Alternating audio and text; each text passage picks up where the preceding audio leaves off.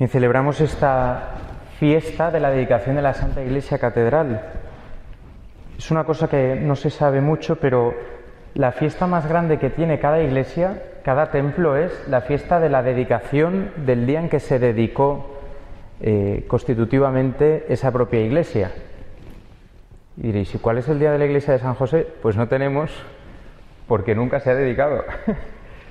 y el altar no se ha consagrado. Pero a no ser que hiciéramos una reforma integral, no se puede hacer. o por lo menos no está indicado.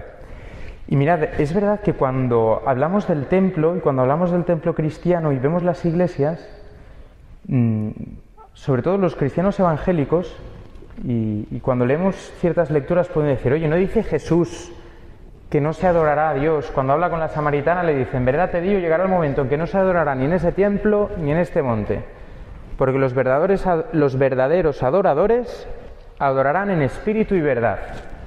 Entonces, ¿qué hacemos los cristianos construyendo iglesias? Si no hay que ir a adorar a un templo, ¿por qué insistimos en la importancia de venir a la parroquia? De, pues vamos a intentar ver por qué es esto importante para nosotros. Porque aunque es verdad que los verdaderos adoradores estamos llamados a adorar en espíritu y verdad a Dios, también es verdad que nosotros no somos solo espíritu. Tenemos un cuerpo material, sensorial, y tenemos una psique, tenemos un alma racional que requiere de unos símbolos, de unos signos, de unos lugares, de unos momentos, de unos ritos que nos ayuden a poder gestionar esa relación con Dios. La dedicación de la Santa Iglesia Catedral esta fiesta, en primer lugar, ¿qué nos recuerda? Pues nos recuerda que la fe no se vive solo y que nadie se da la fe a sí mismo. La iglesia, el templo cristiano construido, ¿qué es lo que lo hace especial? Pues que es el lugar donde el pueblo de Dios se reúne. De hecho, la palabra iglesia significa asamblea, convocatoria, reunión, llamada, la palabra iglesia nos está diciendo que es un lugar de convocatoria, un lugar de encuentro, donde el pueblo de Dios se reúne a celebrar los sagrados misterios. Las primeras iglesias de los cristianos fueron las domus ecclesiae, es decir, las casas de los propios cristianos. Y más tarde, eh, ya con la conversión del Imperio Romano, las muchas basílicas romanas fueron las que se transformaron como iglesias. Pero lo que hace a la iglesia tal es que ahí se reúne el pueblo de Dios, de una manera visible, de una manera visible. Es verdad que también lo hace, por supuesto, quien la habita.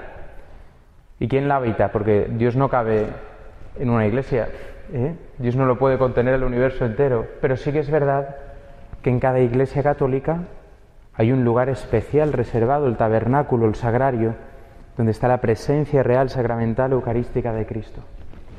Pero bien, nos recuerda el ver la iglesia catedral, nos recuerda, como toda iglesia, que no vivimos la fe solos, que la fe cristiana es una fe que se vive como un pueblo, que se vive en comunidad. ¿Eh?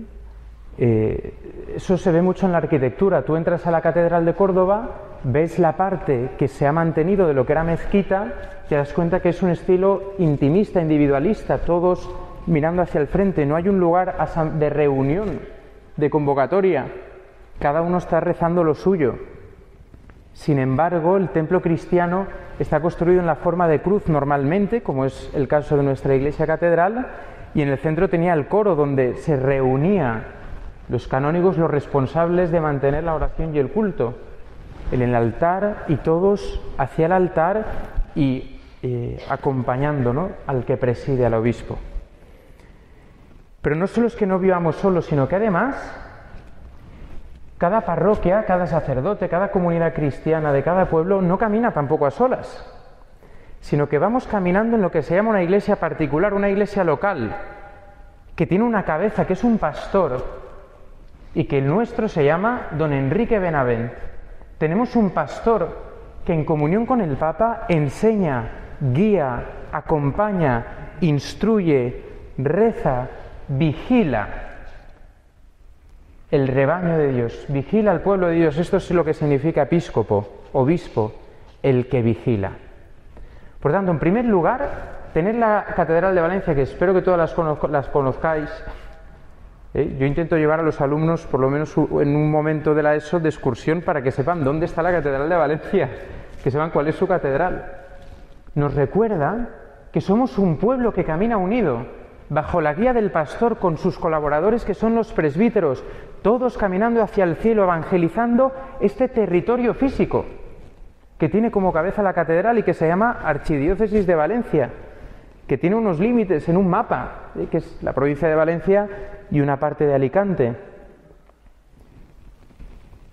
No caminamos solos, caminamos con la Iglesia que a través del obispo nos une a la Iglesia Universal, al Santo Padre y a todas las iglesias de todo el mundo, todas encabezadas por sus obispos. Mirad, esto es muy importante. En el contexto en el que estamos, donde es una sociedad individualista y consumista, y después de toda la historia de las divisiones en la Iglesia, etcétera, corremos un grave peligro y es convertir nuestra fe en una realidad individualista, en algo personalista, y eso se ve también mucho en los cantos de la liturgia. Si os fijáis, los cantos más clásicos de la liturgia siempre eh, se cantan en plural.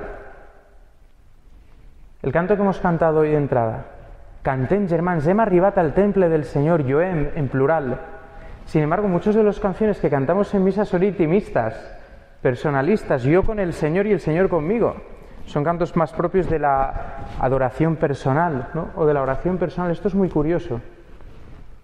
Pero tenemos el peligro de vivir la fe desconectados del pueblo de Dios. Y cuando vamos desconectados del pueblo, del resto del pueblo de Dios y de sus pastores, somos más frágiles. Cuando un obispo se separa del resto de los obispos en la doctrina, en las costumbres o en la fe, automáticamente pierde el rumbo. Y cuando un cristiano se separa de la iglesia en la doctrina, en la fe o en las costumbres, pues también se queda a merced pues de las tentaciones, de las interpretaciones y del poder del maligno. Por tanto, ¿a qué nos ayuda hoy esta fiesta de la Santa Iglesia Catedral? Nuestra fe es una fe en comunidad y vamos caminando como pueblo hacia el cielo encabezados por nuestro obispo, por el que estamos llamados a rezar y a amar.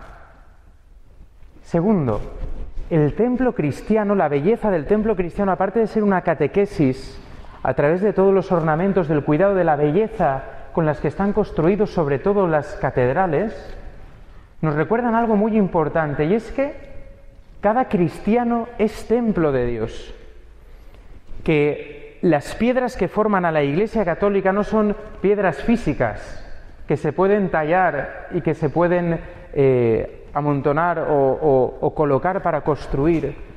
No, no, dirá, dirá eh, la Escritura que la Iglesia está construida sobre doce basamentos que son los doce apóstoles del Cordero. Tiene cuatro puertas, etcétera, cuando habla de la Nueva Jerusalén que hemos escuchado. ¿De qué está construida la Iglesia? De piedras vivas ¿Quién conforma a la Iglesia? Tú y yo, como miembros del cuerpo de Cristo, que es la Iglesia. Y en cada uno de estos miembros habita el Espíritu Santo en plenitud. Tú eres templo del Espíritu Santo, tienes una dignidad infinita, por eso puedes adorar a Dios en espíritu y verdad, porque siempre estás con Él. Cuando te reúnes con otro, donde dos o más se reúnen, allí está Jesucristo en medio. Si estás tú solo en tu habitación o en medio del monte o caminando por la calle o en un país extranjero donde no encuentras una iglesia donde rezar, puedes rezar. ¿Por qué? Porque tú eres templo del Espíritu Santo. Allí donde hay un cristiano, hay una presencia viva de Dios. Y es importante que esto no lo olvidemos, sin detrimento de reunirnos en la comunidad cristiana, porque hay gente que utiliza esto también para decir, ¿cuánta gente habéis oído que, que os dice? Que le decís, oye, pues ven a la parroquia que te ayudará, tal, y te dice, yo no necesito ir a la iglesia para rezar, yo rezo todos los días, ¿verdad? así de veces. No, tengo una amiga que sí, que está mucho en San José y me ha dicho que vaya, pero yo le he dicho que yo no me hace falta ir a una iglesia para rezar. ¿Eh? Sin embargo, ¿eh? El lugar nos ayuda, tener un lugar específicamente reservado para la oración. Pero es verdad esto también, que los verdaderos, adoradores, los verdaderos adoradores adoramos en espíritu y verdad. Por tanto, primero, en comunión y en comunidad. Segundo, nosotros también somos templos vivos de Dios. Y tercero, una cosa muy importante hoy también en unión con la fiesta civil que celebramos. Cuando contemplamos nuestra catedral, la Catedral de Valencia, cuando tú la ves por fuera, cuando ves su torre, cuando ves su estructura, cuando entras dentro, ves los distintos estilos, ves el, románico, lo poco que hay de románico, ves el gótico, ves después el barroco en los ángeles músicos y en, todo el ábside, ves después el neoclasicismo en las capillas laterales. ¿Qué estás viendo? Aparte de algo muy ecléctico. Estás viendo una historia. Estáis viendo que nuestra fe eh, forma parte de una larga historia de transmisión de la fe, que somos herederos de una larga tradición que ha sido transmitida generación tras generación. Y es importante poder hoy reivindicar esto porque la historia del pueblo valenciano está íntimamente y estrechamente unida a la historia de la fe católica. Y quien no lo quiera puede inventarse otra historia. Pero es así. El pueblo valenciano, la cultura valenciana, los valores valencianos, la estructura social valenciana, las raíces de la organización valenciana, están profundamente arraigadas en la fe de Jesucristo y en la evangelización de esta tierra. Es muy importante esto y que no lo olvidemos porque la fe tiene un poder transformador de la cultura. Cuando la fe transforma el corazón de las personas, transforma también la manera de relacionarse las personas y transforma la manera de construir, organizar las sociedades. Hoy pienso que ha sido un buen, un buen día en Valencia espero que no sea esto meterme en política, pero porque después de ocho años la señora, la real señora, ha vuelto a entrar a la Catedral de Valencia, donde se ha entonado el presidente de la Generalitat, la alcaldesa de Valencia, las instituciones de la ciudad, con este signo que representa a todos los valencianos, se ha entonado el Te Deum, dando gloria a Dios, alabando a Dios y bendiciendo a Dios por lo que hoy se celebra. Que nos guste más o nos guste menos es la reconquista de Valencia. ¿La reconquista de quién a quién? Pues muy sencillo. Mirad, cuando Jesucristo envió en su ascensión a los apóstoles, les dijo, id al mundo entero y proclamad el Evangelio a toda la creación, y bautizadlos en el nombre del Padre y del Hijo y del Espíritu, y enseñadlos a cumplir lo que yo os he mandado. Los apóstoles salieron y a Valencia llegó la evangelización. Parece ser que por dos vías, una por el apóstol Santiago y otra por San Pablo, que llegaría a España por, Levante, seguramente por el puerto de Tarragona, aunque todo esto no está seguro 100%, pero bueno, eh, es la tradición. Pero el Evangelio llegó, igual que llegó a todo el norte de África, igual que llegó a, tantas, a tantos lugares. Cuando en el primer milenio aparece el Islam en Arabia y Mahoma forma un ejército árabe, y arrasa todos los pueblos y culturas y la fe cristiana de toda Arabia, del Oriente Medio y de todo el norte de África. Y del norte de África entra Europa por la península ibérica y empieza a través de la espada y del asesinato de todos los cristianos a crear una nueva cultura, acabando con la fe y destruyendo todo rastro de la Iglesia. Ante un ataque así a la fe, a la cultura y a la sociedad que vivía en estos lugares, hay una respuesta justa. Puede escandalizarnos escuchar esto, ¿eh? pero leed los catecismos de la Iglesia Católica, que es la reconquista. Devolver a los lugares que habían sido arrasados mediante la espada. Cuando hoy el pueblo valenciano se para delante de la estatua de Jaume I a cantar el himno regional de la comunidad valenciana, ¿qué está diciendo? Que este rey católico, en nombre de la Iglesia, bajó y devolvió la fe a todo el territorio de Levante, a toda la corona de Aragón. y entre ellas al antiguo reino de Valencia. ¿De qué estamos hablando, por tanto? ¿Qué se celebra hoy? Que podemos ser católicos, que se nos devolvió la gracia de la fe, que había sido sembrada en la primera evangelización. Y mirad, esto tiene unas consecuencias muy importantes para nuestro presente. Os voy a contar una anécdota, un poco bruta, ¿vale? En unas fiestas de, de una ciudad, estaban bajando a la Virgen y un sacerdote jubilado paró la procesión a mitad, se puso delante de la Virgen y exclamó, ya hace esto unos cuantos años, ¿eh? Yo eh, creo que todavía no era ni seminarista, pero lo tengo grabado, exclamó, chiquets, chiquetes, señaló a la Virgen y dijo, o asó o la morería. Claro, el clima que se creó, imaginaros eh, el rebombori, no sé cómo se traduce eso al castellano, el rebombori que se creó en ese momento. Cuando la procesión terminó y iban a dar la bendición final en la iglesia, el párroco dijo, a ver, ¿cómo solucionan ustedes a guisado antes de salir mañana en el periódico, en la radio y en todos los sitios?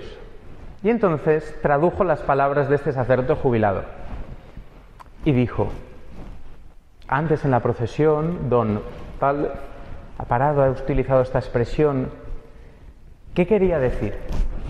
Y dijo, pues mirad, que si nosotros desertamos de nuestra tradición que va unida a la fe cristiana, si desertamos del lugar del cristianismo en la sociedad y en la cultura, otros lo ocuparán. ¿Y qué estamos viviendo en Europa?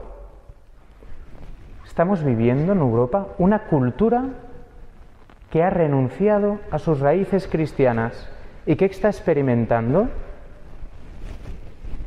una transformación cultural sin precedentes, donde se ha perdido la identidad, donde en aras del multiculturalismo y de la tolerancia, la sociedad no tiene raíces ni fundamentos, no hay unos valores comunes y estables que todos compartan, ¿Y esto en qué se manifiesta? Se manifiesta en que no hay principios básicos para poder educar en común, se manifiesta en que no tenemos valores comunes morales que se puedan compartir, en que vivimos en una sociedad que los antropólogos llaman y los sociólogos una sociedad la llamaban líquida, algunos la llaman una sociedad gaseosa, que no hay por dónde cogerla, que no tiene consistencia. Y en medio de esto estamos, pues en Francia los altercados que hubo eh, hace eh, unos meses, donde franceses de tercera, cuarta y quinta generación, que sus, eh, sus, sus abuelos, sus bisabuelos venían de países normalmente de origen islámico, dicen que ellos no se sienten franceses. Y mirad, hay algo muy importante en el cristianismo, y si no, buscadlo en Santo Tomás de Aquino y buscadlo en el cuarto mandamiento, y es el amor a la patria. El amor a la tierra y a la propia nación va unido al cuarto mandamiento. El respeto a las instituciones, a la cultura y a las tradiciones. El amor a la propia organización social y la defensa de que sea justa. Esto forma parte de la fe cristiana, aunque no lo prediquemos porque es políticamente incorrecto.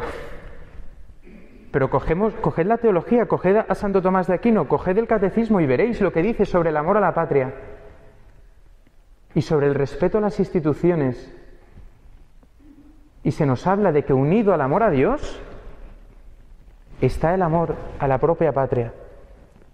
Y como parece que eso no tiene que ver con nosotros, vivimos como estamos viviendo, una crisis social, institucional, nacional y internacional que tiene muchos signos, tiene muchos signos de que la paraeta se va a caer más pronto que tarde. Por eso hoy, en este día de la Comunidad Valenciana, este día de la dedicación de la Santa Iglesia Catedral, que este amor a nuestra Iglesia, que este amor a la comunidad cristiana, que este amor al pueblo de Dios, que va unido a la tradición y a la historia valencianas, nos lleve también a tomar parte, a tomar responsabilidad en nuestro lugar en la sociedad. Como cristianos estamos llamados a transformar la sociedad cristianamente y a luchar porque se promulguen leyes cristianas y a que las organizaciones humanas, vecinales, sociales, en los trabajos, en las empresas, se hagan según los valores y según aquello que se desprende del cristianismo. No podemos reducir el cristianismo a las sacristías o al rato de la misa o a mi oración privada en mi habitación delante de mi imagen de Jesús.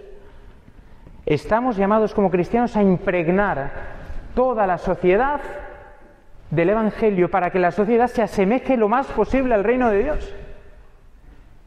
¿Cómo hacer esto? Pues no lo sé. Cada uno que rece y que el Señor nos ilumine y que nos inspire. Pero sí, ¿sabéis quién tiene esta faena, no? ¿Sabéis de quién es esta responsabilidad? No es de los curas y tampoco es del obispo. Esta responsabilidad es vuestra, de los laicos, de los que estáis en el mundo social, de los que estáis comprando y vendiendo, de los que estáis trabajando, de los que estáis en la justicia, en el hospital, en, el mercado, en el bar, en el restaurante, en la clínica. En...